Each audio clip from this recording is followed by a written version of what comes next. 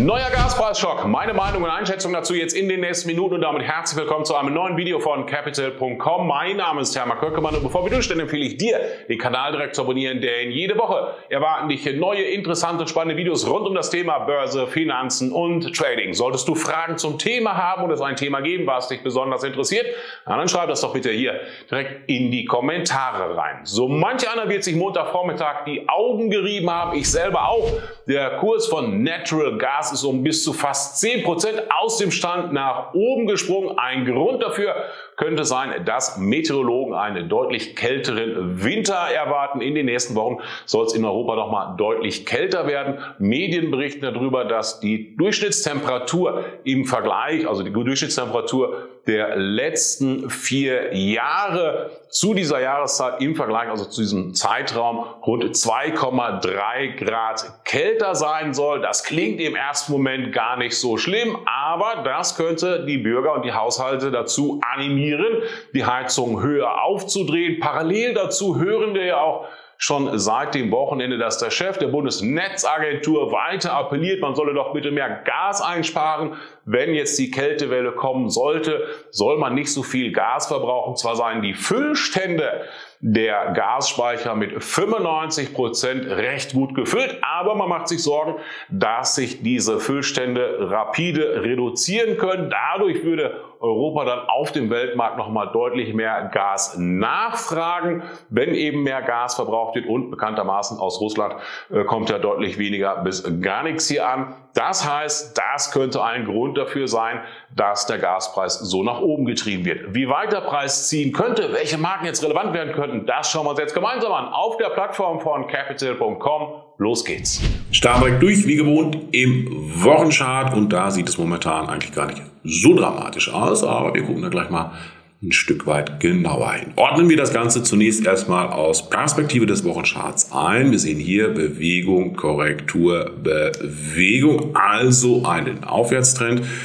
Dann im weiteren Verlauf seit äh, August diesen Jahres sind die Preise wieder zurückgekommen, der Kurs zurückgekommen hier bei Natural Gas und wir sehen hier, das Tief wurde angelaufen, also diese Unterstützung war 5,33,9. Dann gab es nochmal Schub nach oben, sogar trendartig, Bewegung, Korrektur, Bewegung. Ja, und dann ist das Ganze wieder erstmal in sich zusammengefallen, also der Kurs wieder nach unten abgerauscht und wie quasi im letzten Video besprochen, wichtigste Unterstützung hat hier unten dann erstmal gehalten, also die 5,33,9 hm, die hat gepasst. Von da aus hat sich dann der Kurs wieder erholt und wir sehen es gleich hier mit einem deutlichen Kurssprung nach oben. RSI noch nicht überkauft, RSI auch noch nicht überverkauft, sind wir da im Mittelfeld unterwegs. Unterstützung, wie bestätigt, hier zunächst auch weiterhin erstmal die 533,9. Widerstand auf der Oberseite hatten wir so grob 7, 67 bis 784. So bei 784 würde ich es momentan auch erstmal hier so belassen im aktuellen Chartbild.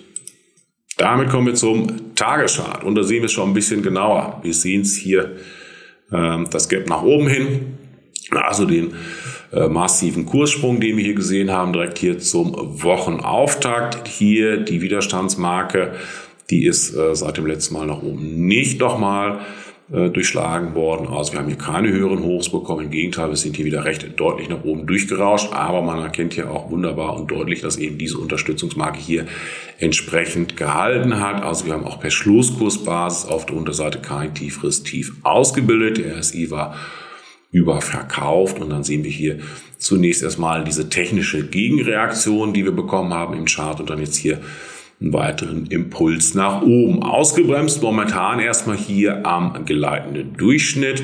Dann sehen wir ja auch, dass wir zwar im Wochenchart übergeordnet einen Aufwärtstrend haben ähm, und dementsprechend dann hier jetzt in der Korrektur des Wochencharts und auch hier dann eben immer wieder diese Wechsel drin haben von Auf zu Abwärtstrend. Wir sehen es hier Bewegung, Korrektur, Bewegung nach unten durch, Korrektur, wieder Bewegung. Dann geht das ganze Spiel von vorne los. Also hier quasi der Bruch, dann die Korrektur, Bewegung, das Ganze dann wieder abgeflacht, hier nach unten weggefallen, also wieder Bruch, also es bricht sich quasi, wenn man so will, hin und her. Von daher momentan so diese Widerstandsmarken in dieser Seitwärtsphase meiner Meinung nach her dementsprechend auch wichtig und vielleicht auch neuer Impulsgeber. Also Aufwärtstrend hier im Tagesschart erstmal wieder intakt oberhalb dieser Marke, oberhalb des Hochs hier aus äh, November, Ende November oberhalb von 8,14,7.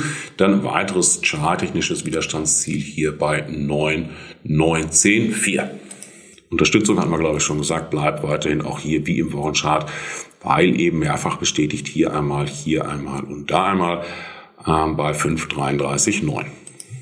Ja, solche Kurssprünge, die kennen wir aus der Vergangenheit sonst eher so vom Öl, wenn es hieß, es kommt ein äh, Sturm auf oder ein Tropensturm oder äh, Ölverarbeitungsanlagen könnten witterungs- und wetterbedingt äh, ausfallen. Dann haben wir das da auch schon mal gesehen, diese kurzfristigen Preisschocks. Da hast die Kurse dann dramatisch nach oben ziehen und da stellt sich dann auch immer so ein bisschen die Frage, naja, wie nachhaltig ist das denn? Ja, also äh, werden die Kurse dann weiter angetrieben oder dieser kurzfristige Preisschock fällt dann wieder in sich zusammen und äh, reduziert sich das Ganze wieder und fällt wieder nach unten weg. Was noch so eine Auffälligkeit hier ist im Tageschart eben, dass wir mit diesen wieder ansteigenden Kursen auch zum einen diese Kurslücke nach unten wieder geschlossen haben. Also da hatten wir auch die Situation, dass Preise eben noch nach unten wegbrechen können. Wir haben es auch äh, hier nochmal gesehen im Chart, also auch hier diese Marke in der Zahl hier aus September dass es dann zu Kurslücken kommt. Also so richtig ungewöhnlich ist es nicht. Also das kennen wir durchaus. Aber die spannende Frage bleibt dann eben, wie weit wird ein Kurs dann wieder nach oben getrieben oder eben auch nicht.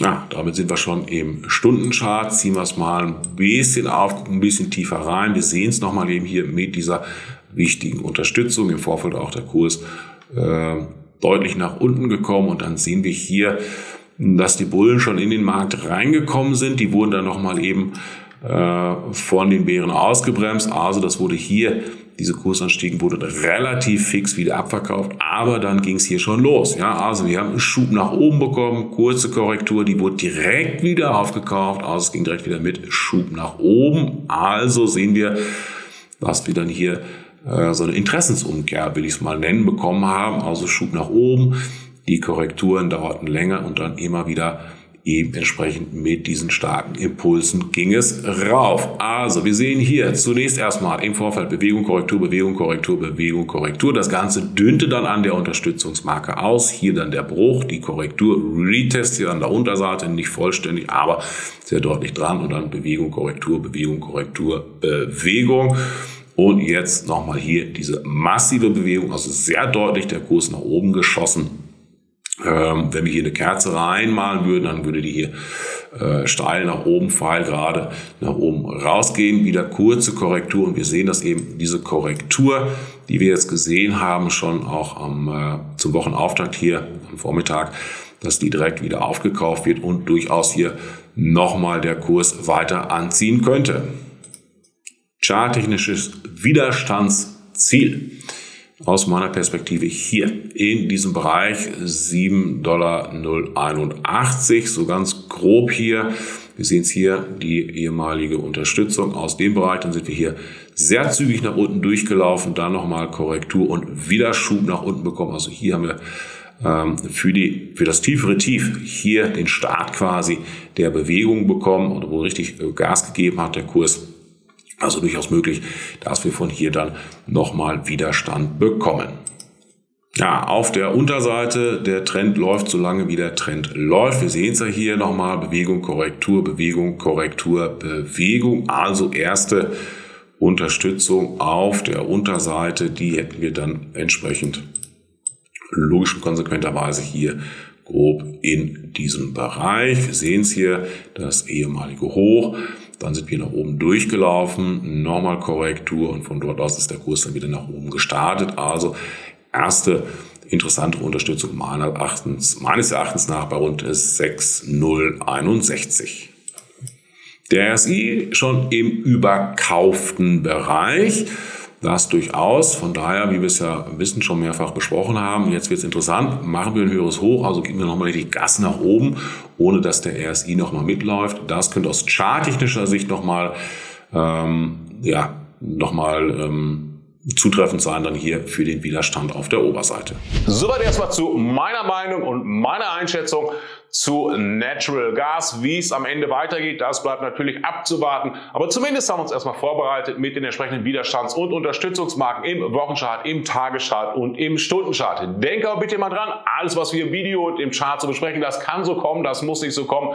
Es handelt sich dabei lediglich um eine persönliche Einschätzung aufgrund meiner langjährigen Erfahrung. Ich hoffe jedenfalls, das Video hat dir gefallen. Wenn das so ist, dann lass doch bitte einen Daumen nach oben da und vergiss nicht den Kanal direkt zu abonnieren. Dann bist du immer informiert, wenn es ein neues Video gibt. Bis dahin wünsche ich dir viel Erfolg beim Traden. Mach's gut, bis zum nächsten Mal.